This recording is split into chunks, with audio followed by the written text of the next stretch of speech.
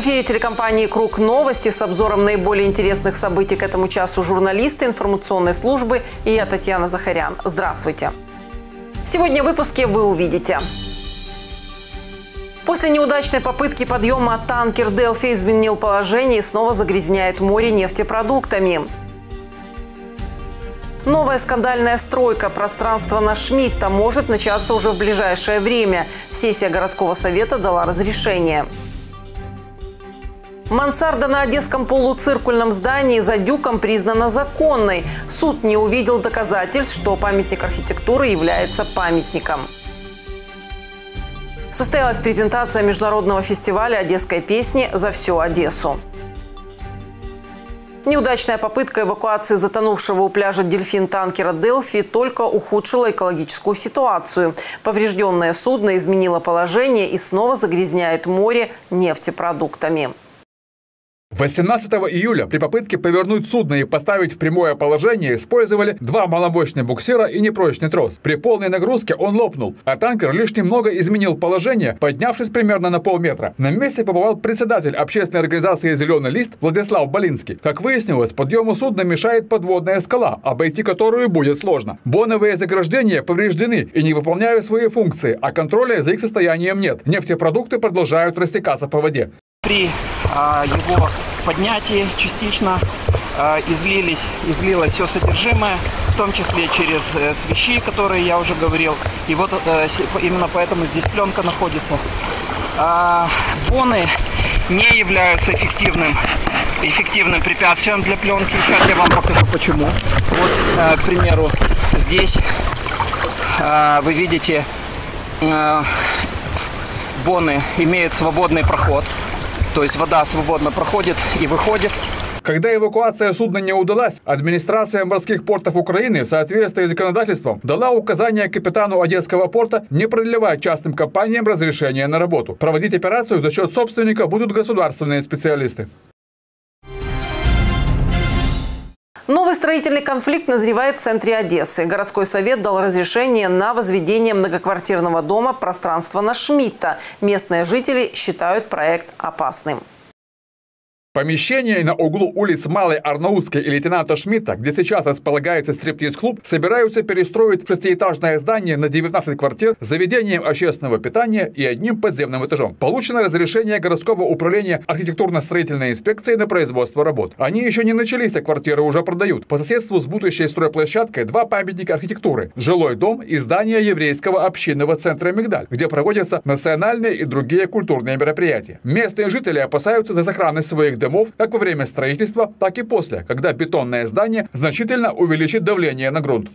Мы опасаемся того, что может произойти какое-то разрушение. Уже заказано тех заключения дома. Сейчас производится в институте и ждем заключения. После этого мы выдаем список, каких работ нужно сделать, чтобы как бы предостеречь э, разрушение ну или как бы деформации дома.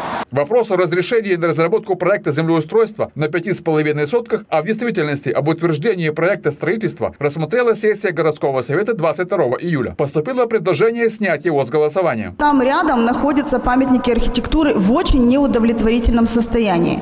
Более того, э, выданные градусловия ограничения нашим управлением архитектуры абсолютно четко указывают на том, что до начала строительства, э, собственно, заявитель, застройщик должен сделать экспертизу ближайших домов, в каком они состоянии, произвести все укрепительные работы и только потом приступить к реализации проекта.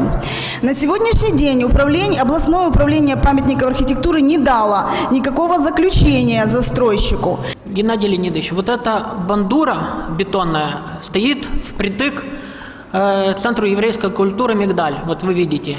И есть опасность обрушения.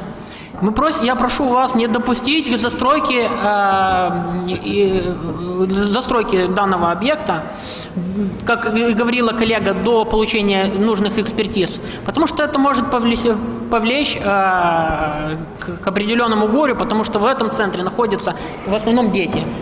Предложение об исключении вопроса поддержали 9 депутатов. Два были против, один воздержался. 39 не голосовали. Следовательно, подавляющее большинство депутатов Одесского городского совета мертвые души. Зачем тогда вообще они там сидят? Выразить свое отношение к таким народным избранникам одесситы смогут уже в октябре. А сейчас верное мэру большинство разрешило отдать участок застройщику. Те же 39 депутатов проголосовали за. Если нужно бизнесу, городская власть готова сделать все. Интересы одесситов, ныне живущих и будущих в расчет не принимаются.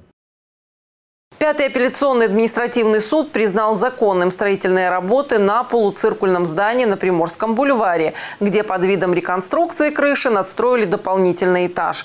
Суд не увидел доказательств, что памятник архитектуры является памятником. Приблизительно год назад Одесский ГАСК отменил декларацию о начале выполнения строительных работ в полуциркульном доме, после чего было начато уголовное производство по факту разрушения памятника архитектуры национального значения. Для того, чтобы проводить незаконные строительные работы, владелец использовал старую декларацию о начале таких работ. ООО «Гранд Отель» задекларировал, что объект относится ко второй категории сложности, в то время как это здание относится к высшей категории сложности, пятой, обязывающей желающие, кроме подачи декларации, получить разрешение на выполнение работ, написал глава ГАСКа Александр Авдеев на своей странице в Facebook. В феврале в рамках уголовного производства прокуратура пыталась наложить арест на здание, однако это им не удалось. И вот в августе мы пришли к тому, что надстройка на крыше полуциркульного здания признана законной. Самая ценная мотивация решения суда. Суд не увидел доказательств, что памятник архитектуры является памятником. Мол, сам по себе факт наличия в доме, который является объектом объектом строительства статуса памятника архитектуры национального значения не относит такой объект к пятой категории сложности. Памятник не памятник, когда суд на стороне застройщика полуциркульного дома, написал Александр Авдеев. 23 июля состоялась презентация международного фестиваля одесской песни «За всю Одессу». По словам организаторов фестиваля, это событие, которое ставит перед собой цель встряхнуть одесскую культуру и напомнить современной Одессе о прекрасном и уникальном жанре «Одесская городская песня». Первый международный фестиваль одесской песни «За всю Одессу» пройдет с 13 по 15 августа. Про Одессу написаны сотни прекрасных песен, и многие из них уже неотъемлемы от города и его истории. Организаторы фестиваля не хотят, чтобы песни превращались в музейные экспонаты, а были живы. А, Одесса – уникальный город. Это единственный город, наверное, на Земле, который имеет э, свой колорит – свою историю, свою культуру, свой язык, свою кухню и свою песню. Я, как одессит в пятом поколении, знаете, очень переживаю, потому что Одесса во мне, она течет во мне. И в силу обстоятельств культура города, язык города и колорит города, он растворяется. А почему бы не сделать фестиваль и не передать эту песню нашим детям? Нашему новому поколению, скажем так, наших детей. Я имею в виду детей 20 плюс. На фестивале выступят артисты не только из Одессы. Как сказал организатор, не нужно быть одесситом по рождению, можно быть одесситом в душе. Более подробно рассказал руководитель оргкомитета фестиваля Игорь Корж. Фестиваль на самом деле называется международный, и это э, не просто так, не какие-то громкие красивые слова. Э, у нас есть и заявки, и, и желания от Представителей из США, из Израиля, из Европы. Пандемия, сложности с перелетами вносит свои коррективы, но у нас есть точное подтверждение от артистов. Не нужно быть одесситом по рождению, можно быть одесситом в душе, чтобы выступить на этом фестивале. Знаете, как в той известной да? Э, мне говорят, что я живу в Одессе, нет, это она во мне живет. В одесских городских песнях весь уникальный дух и колорит Южной Пальмиры. Их знают и поют в разных уголках мира. Одесские песни – это главная достопримечательность города. Их нужно знать, слушать и петь, чтобы вести про Одессу расходились по всему земному шару. Хвастать не буду, хвастать. Но мне кажется, что идея фестиваля э, много лет назад обсуждалась мной с Александром Шаргородским, который является э, главным человеком, хозяином, можно так сказать, наверное, да, фестиваля, идейным вдохновителем. Мы, и поэтому, э, наверное, поэтому меня пригласили еще и как артиста специальным гостем на фестиваль. И еще, наверное, потому что э, я не коренной одессит, по бабушке одессит. Но у меня достаточно много песен, которые я написал о Одессе.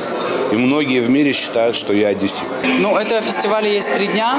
И гала-концерт, который будет 15 августа. Моя команда «Деньги вперед», и я будем хедлайнером, верно. Насколько я знаю, в прошлом году фестиваль назывался по-другому. И проходит он э, теперь с новым названием «За всю Одессу». Э, я очень надеюсь, честно, вот, э, что в Одессе появится фестиваль, который будет на качественном уровне представлять э, тех артистов, которые заинтересуют публику. И публике захочется на них ходить каждый год. В этом э, основа вот, э, успеха фестиваля. Организаторы приглашают всех на первый международный фестиваль одесской песни «За всю Одессу», который пройдет с 13 по 15 августа в летнем театре «Морвокзал». Карантинный режим и кардинальное изменение образа жизни у многих людей стали приводить к депрессивным и подавленным состояниям. Психотерапевты советуют побольше бывать на свежем воздухе, заряжаться положительными эмоциями и заниматься творчеством. Ситуация с карантином сказалась не в малой степени на психическом состоянии многих людей. Быстрое разрушение привычного мира, устоев образа жизни оказало негативное влияние. И даже в случае внешнего спокойствия изменения на глубинном или, как принято говорить, подкорковом уровне зачастую приводят к серьезным последствиям. Недаром говорят, что все болезни от стресса, а сам стресс, в свою очередь, не что иное, как на физиологическом уровне спазм. Как рассказывает доктор психологии, член Европейской ассоциации психологов и психотерапевтов, директор Центра семейной психокоррекции и психотерапии «Таламус» Светлана Григорьева, закрытые замкнутые люди не в состоянии справляться с возникшей ситуацией или даже обычными бытовыми вопросами. Но выбор в помощи есть всегда. Во-первых, необходимо обратиться к психотерапевту, а во-вторых, суметь увидеть красоту окружающего мира, а главное своего собственного. Кто знает, какими внутренними талантами обладает тот или иной человек. Насытить свой мозг. А мозг работает через вот эти вот сенсорные каналы, получая информацию через таламус, кору головного мозга.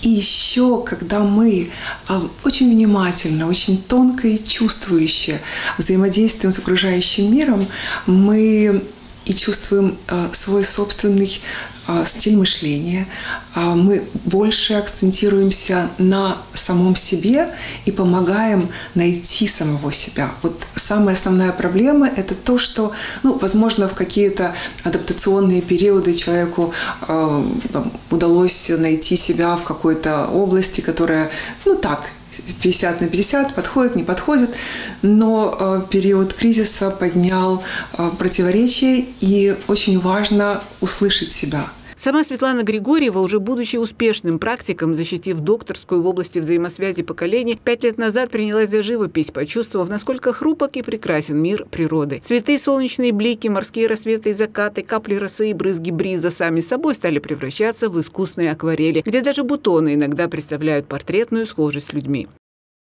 совершенно от себя, без каких-то уроков живописи. Это просто была необходимость эм, почувствовать себя в связи с природой. Когда рисуешь, э, больше находишься вот в этом мгновении настоящего, потому что надо словить э, тень Э, свет, свет падающий, э, там тень падающую, свет отраженный.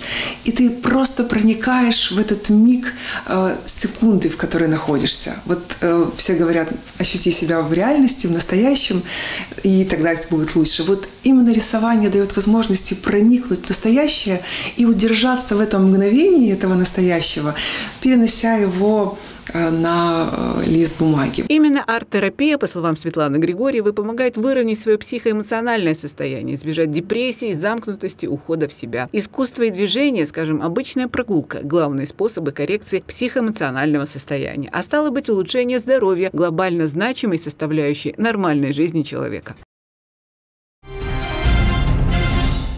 Бал белых цапель. Так романтично назвали орнитологи Тузловских лиманов завораживающее зрелище на мелководье, куда слетелись сотни белых цапель. Видео охоты птиц на мелкую рыбу, записанное на автоматическую камеру наблюдения, выложил на своей странице Facebook известный одесский эколог Иван Русев.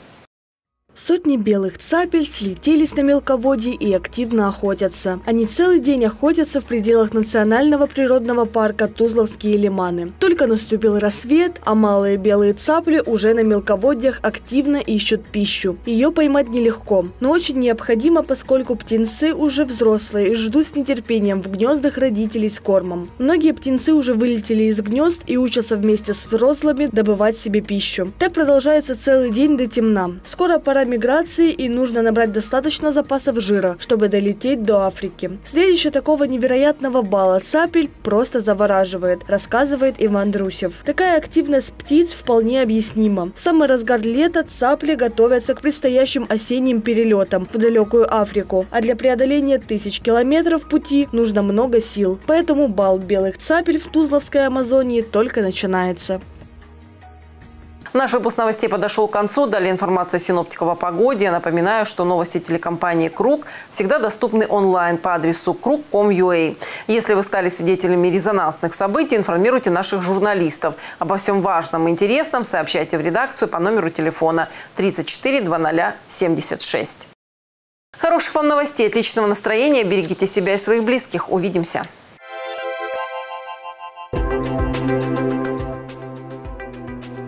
Прогнозу гидромедцентра Черного и Азовского морей 24 июля в Одессе переменная облачность. Ветер юго-восточный 4-10 метров в секунду. Температура воздуха ночью 20-21 тепла, днем 23-25 градусов тепла.